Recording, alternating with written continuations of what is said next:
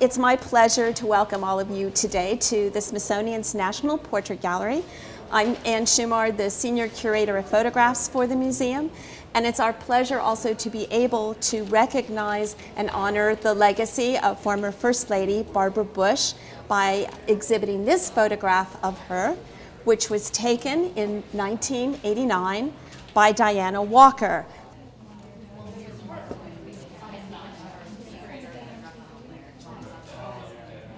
This image of Mrs. Bush with the family's famed uh, Springer Spaniel, Millie, was taken uh, on the White House grounds.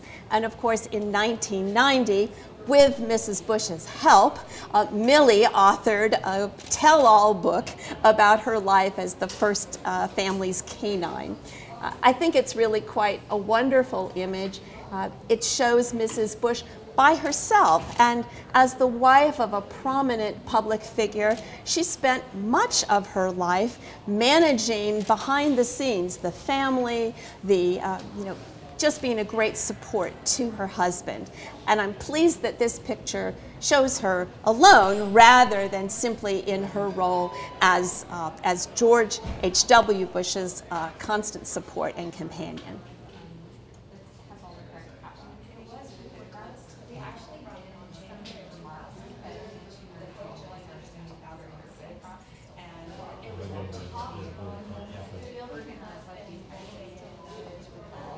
This is certainly uh, an evocative image. We're, we're used to perhaps a more uh, sort of jovial image of, of, the former First Lady. She was known for her self-deprecating humor.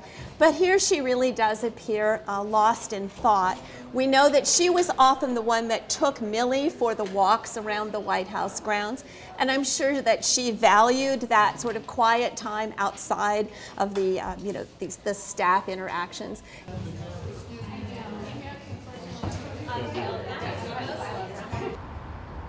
want to hold that for you? Nope.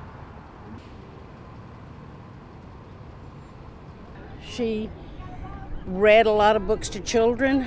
That she was well known for that in Houston. Yes, and she lives not too far from her. we used to run into her all the time at the Rice supermarket. She was so friendly, so loving, you know. No matter who you were, she always stopped and talked to you. But uh, have always followed the Bush family, always. So, big part of our lives. You know, very touched by her passing.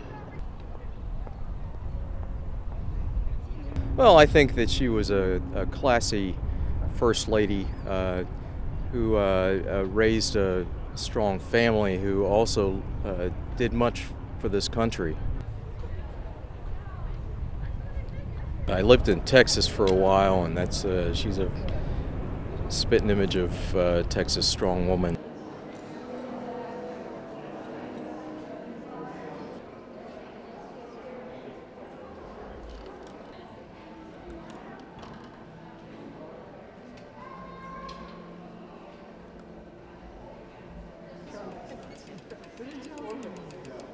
Christopher. To know who came here and, and where we came from.